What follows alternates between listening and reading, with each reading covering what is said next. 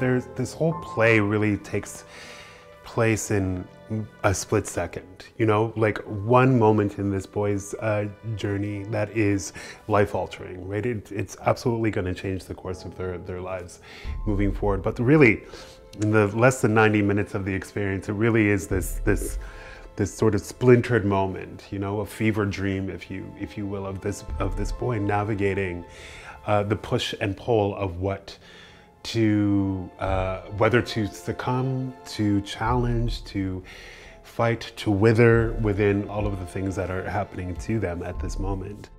Well, it's so rich. It's it's almost overwhelming. This sort of stew of classical text, ancient Chinese poetry, uh, in, informal language. All, it's all thrown together, and there's different wor- worlds with formality, informality, and you're shifting through those modes all inside of one character, receiving it from other characters, and then using those different kinds of languages language to have different kinds of power.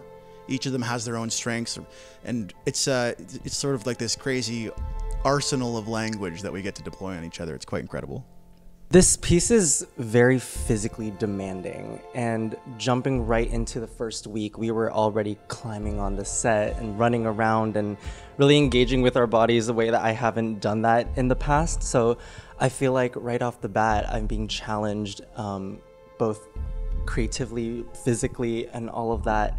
I find that it's a nice mix of not just focusing on acting, but taking that movement and how you can portray how you're feeling that internal dialogue and portray that without using your words.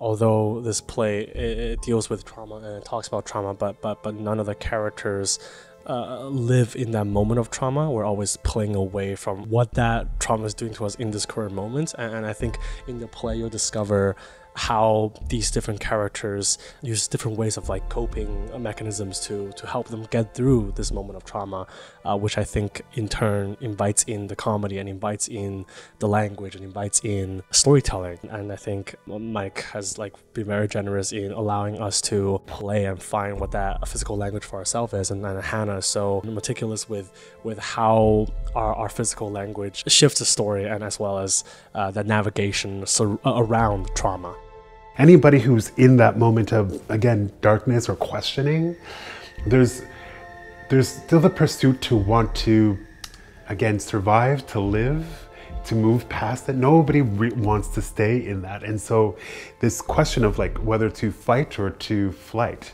it is a really fundamental one of, of, of this piece. But yeah comedy. Comedy is really really important to help guide so that it's not just a, a constant heaviness. We know that that is there, but again, it's how we move past that or how we move through that that is uh, far more dramatic and and I think interesting. I think as a, a adventure for an audience member.